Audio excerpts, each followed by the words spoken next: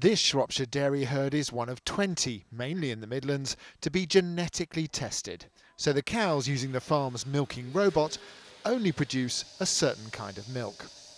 So Neil, you had all your cattle genetically tested. That's right, David. Back in the summer, we took a, a DNA sample from each of the cows, uh, a small tissue sample from each of the, the cows' ears, sent that off for analysis, and we've just selected the A2 cows. All the other cows have been sold, uh, and they form the nucleus of our A2 herd. And an A2 herd produces A2 milk. You might have seen the advert. A2 is great tasting regular milk, but it has the A2 milk protein, and that makes it different.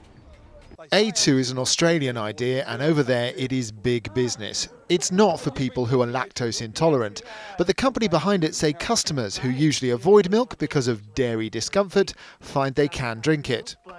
The vision is that we can replicate some of the success that we've seen in Australia. Now that's going to take time, but uh, there is there is a belief that through the support we've seen from from our farmers through the growing support we're seeing amongst retailers, we're going to uh, we're going to see ourselves in the next 18 months really uh, establishing A2 as a as, as a big player in milk.